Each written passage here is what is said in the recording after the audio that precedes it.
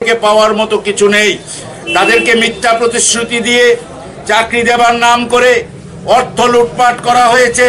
সারা রাজ্যে সামাজিক মাধ্যম সহ বিভিন্ন মাধ্যমে আসছে লক্ষ লক্ষ টাকা। বিজেপির এই দুর্নীতিগ্রস্ত নেতারা, বিধায়করা, মন্ত্রীরা তুলে নিয়েছেন। বেকারের ভাগ্য আজকে কোনো বেকারদের ভাগ্যে এ চাকরি জুটছে না।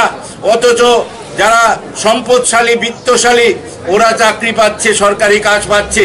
আজকে যাদেরকে দিয়ে এই সব ঘটনা সংগঠিত করে, করেছিল, আজকে ওরা ওদের ভুলটা বুঝতে পেরেছে।